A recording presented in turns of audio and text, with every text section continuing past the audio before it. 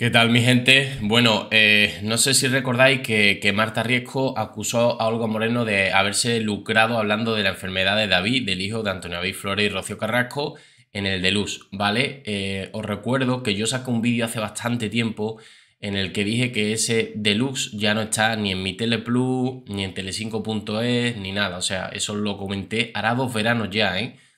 O sea, fue mm, impresionante. O sea, lo eliminaron por la cara porque no les convenía. ¿Por qué? Pues porque ahí hablaban eh, ella y Antonio David, que también estaba presente, eh, hablaban, pasa que él entró más tarde o algo así, que él evidentemente estaba allí. Y no sé si hicieron la entrevista entera o, él entró luego y se sentó al lado de ella le dio la mano y tal y cual. Y, bueno, evidentemente, pues en esa entrevista eh, hay una serie de preguntas, le preguntan por la persona o el hijo de Antonio David que la está cuidando, ¿no? Eh, pero en ningún momento lo habla a malas ni, nada por el estilo. Al final es una persona que está cuidando eh, a ese niño y a esa niña que era Rocío Flores. De hecho, lo más bonito de, todo lo que se habla en el de luz, porque no se habla mal, ¿vale?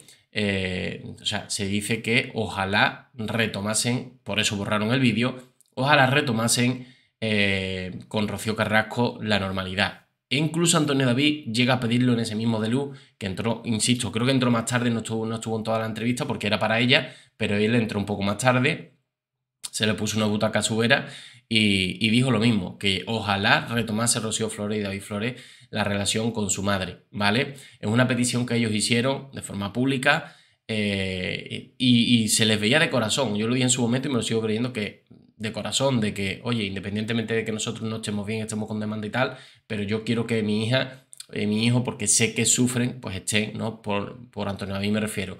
Y era algo que pedían los dos, ¿no?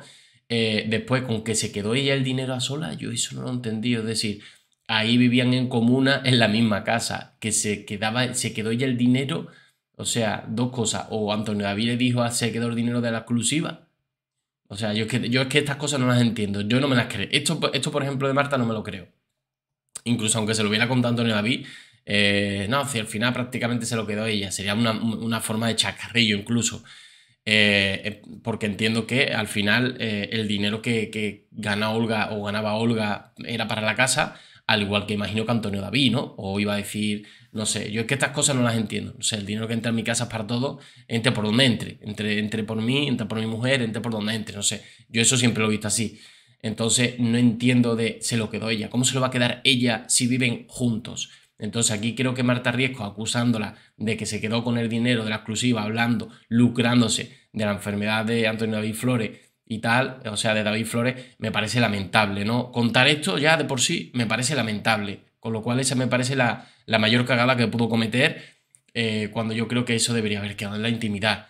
Pero bueno, otra de las cosas eh, que yo puedo entender que esté enfadado con Antonio David, pero págala con él, porque al final es tu pareja el quien te ha dejado, pero deja de hablar de Olga, Rocío Flores, David Flores, no te han hecho nada. Si tanto cariño le tiene, no lo mencione siquiera. Sabes que al padre no le gusta que lo mencione, eh, porque al final está en el ojo del huracán. Entonces, deja de mencionarlo. Evidentemente, me podéis decir a mí, tú también lo estás mencionando. claro, yo es que me dedico a hacer críticas a los famosos, para bien o para mal, ¿vale? Para bien o para mal. Y en este caso, creo que Marta Riesco ahí sobrepasó los límites una vez más. Entiendo que estaba muy caliente, entiendo que entró en caliente viendo a, eh, a Javi que, que estaba reaccionando a su historia y no le gustó al igual que hubiera reaccionado a mis historias, que yo estaba comentando más o menos lo mismo por la mañana, esa misma mañana, y tampoco le hubiera gustado, y si lo hubiera hecho en directo, pues a lo mejor también lo hubiera eh, en caliente, me hubiera dicho todas esas cosas, pero que no. Ahí estuvo mal, ahí creo que debería haber sido condescendiente, decir, oye, hay ciertas cosas que no debo de contar, ¿no? Y ya luego decirle eso, que no se puede comparar eh, a ella eh, usar temas de, de, la hija pequeña, ¿vale? Temas de la hija pequeña para que te salga gratis el cumpleaños, eh, sobreexponerla cuando no es tu hija, ni, ni, la estás criando. Es que no estamos hablando de la misma circunstancia. Marta Riesco llevaba con ella tres cuartos de hora conociéndola y Olga Moreno llevaba a lo mejor eh, en ese de luz seis o siete años o diez años criándolo. Es que estamos hablando de cosas distintas. La madre la había abandonado en, en una semi-abandono, podríamos llamarlo así, porque ya no lo llamaba, ya no se preocupaba por él y evidentemente ya no se contaba con ella. ¿Vale? Eh, que se le puede hacer daño. bueno, yo creo que Olga y todos entendían que daño ya no se le podía hacer ninguno porque no le importaba y no le interesaba a sus hijos. Entonces, esas comparaciones, cuando no son similares y no, no, no es la misma circunstancia, creo que ahí mete la pata. No se puede comparar lo que ella hizo, eh, que cada vez que las poquitas veces que, le tocaba y estaban juntos con, con, la pequeña, ella hacía alusión a sus libros, sacaba su mano, sacaba la foto de no sé qué, ¿vale? Y otra cosa es, eh, pues bueno, lo que, lo que, la, comparación con Olga, ¿no? Que, ha criado a son niños como si fueran suyos, mientras que la madre, pues, se lavó las manos y se fue. Entonces, como entenderéis, estamos hablando de cosas distintas. Ella hizo de madre, ¿vale? Entonces yo creo que esto, yo creo que esto lo sabe todo el mundo y lo reconoce todo el mundo. Entonces ahí la comparativa estuvo bastante fea y eso de lucrarse, quedarse el dinero, vamos a ver, estaba, estaban viviendo juntos. Ahí no se quedó el dinero a ella, ahí había una sola casa, había ahí un solo coche en aquel momento, entonces es que estamos hablando de absurdeces, ¿vale? Me imagino que ahí el dinero que entraría sería en comuna, y si no en comuna, me imagino que eh, lo harían a media, oye, lo que yo gane, yo pago la mitad y tú pagas la mitad, o como yo gano más, suelen hacer muchas parejas, eh, como yo gano más, yo pago un poco más de porcentaje y tú pagas menos, ¿no? O tú te haces cargo de la comida y yo de la luz y el agua, no sé no sé, hay cosas, personas, familias, entiendo que lo hacen así, cada uno verá, ¿no? Eh, en fin, yo creo que ahí estuvo bastante lamentable. Y bueno, buena prueba de ello, buena prueba de ello son las críticas que le están lloviendo por todos lados, ¿no? Pero ya no solo con este tema, sino con muchos temas, que en algunos le puedo llegar a dar la razón. Por ejemplo, el tema de las en la manga, eh, creo que fui uno de los pocos que, que, bueno, me, me quedé un poco como diciendo, no, no, es que lo tiene. Es verdad que lo tiene que demostrar, Espero que lo consiga, espero que lo consiga, que apriete a Luis Pliego y le diga, mira, pues te doy una exclusiva, pero tú tienes que reconocer, ahí estaría bastante inteligente Marta Riesco, pero tú tienes que reconocer que Rocío Barrasco me dijo lo que me dijo.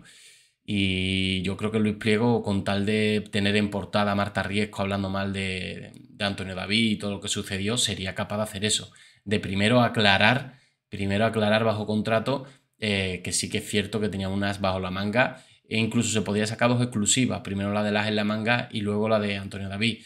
Pero no, no quiero darle ideas, por supuesto, no quiero darle ideas eh, para nada a Marta. Yo creo que lo mejor que puede hacer Marta es no hablar más de Antonio David. Creo que hay que pasar página. Eh, ha podido hacer algo mal. Si eso es verdad lo que sucedió de presentarse allí, qué tal que cual, tienes 36 años. Si tú le abres la puerta, lo dejas entrar eh, y, y tú más o menos sabes cómo es, según ella es así, de que fue para lo que fue, pues chiquilla, no le abras más la puerta, bloquealo, eh, no le, no le permitas el paso a tu casa y ya está. ¿Se comete un error una vez? Sí. ¿Hay veces que lo comete persona tres veces? También. No lo cometas más, ¿no? Ya la cometió una, dos, no sé cuántas veces lo contabiliza ella, pero bueno, ya está, no ha pasado nada. ¿No? Si esto nos pasa hasta con 15 años y, a ti te ha pasado con 36, bueno, también suele pasar con esas edades, ya está, ya no te va a pasar más. Pero deja ya a, a las personas, es decir, eso debe de quedar en la privacidad, ¿no? Bueno, mi gente, hasta aquí el vídeo. Me gustaría que dejase vuestro comentario, eh, porque la verdad al final eh, creo que lo más importante es que abráis debate en la cajita y que podamos ahí discutirlo. Mi gente, nos vemos en el siguiente vídeo. Un saludo.